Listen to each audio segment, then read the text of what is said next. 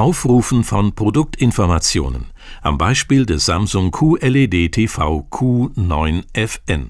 Sie benötigen die Seriennummer, den Modellcode oder die Softwareversion Ihres Samsung QLED TV? In diesem Video zeigen wir Ihnen, wie Sie alle wichtigen Geräteinformationen schnell auf einer Übersichtsseite aufrufen. Mit den Navigationsfeldtasten der Samsung Smart Remote navigieren Sie innerhalb der jeweiligen Menüs. Mit der Eingabetaste bestätigen Sie Ihre Auswahl und nehmen Markierungen vor. Mit der Zurück-Taste verlassen Sie die laufende Anwendung oder das jeweilige Menü. Durch Drücken der Home-Taste rufen Sie den Smart Hub Startbildschirm auf. Wählen Sie Einstellungen.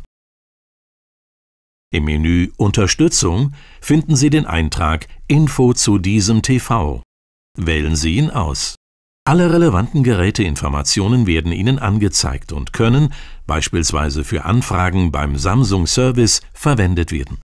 Schauen Sie sich auch unsere anderen Hilfevideos zum Thema TV, Audio, Video an